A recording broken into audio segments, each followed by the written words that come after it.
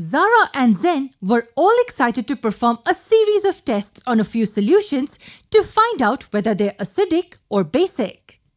Their teacher handed a few yellow colored paper strips, and before she could return to guide them, Zen had already dropped a few drops of some solution on it. And to his surprise, the paper turned bright red. Both Zara and Zen were confused with this magic. How did the paper turn red? The teacher returned and explained that the two had performed one of the detector tests.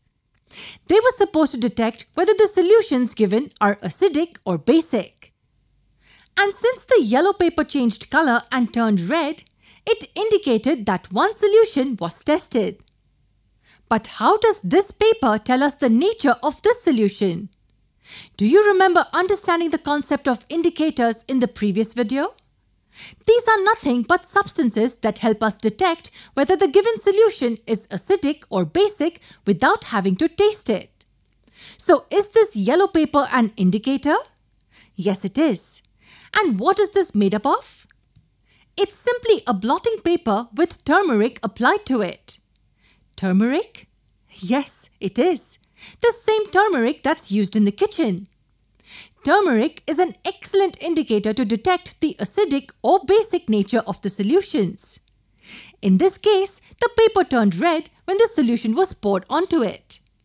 So, what did the indicator tell us? It clearly indicated that the solution was basic. Yes, alkaline substances or solutions turn turmeric into a red color. More the basic nature, brighter the red color will be. And what about acids? Acids have no color change when tested with turmeric. The color of turmeric, which is yellow, remains unchanged. The solution remains unaffected. That is how turmeric helps differentiate between acids and bases. Acids remain unaffected while basic solutions turn red. And there are more natural substances that can be used as indicators. Yes, there are many in the list. Next, let's look at two more natural indicators which help in detecting the acidic and the alkaline nature of solutions.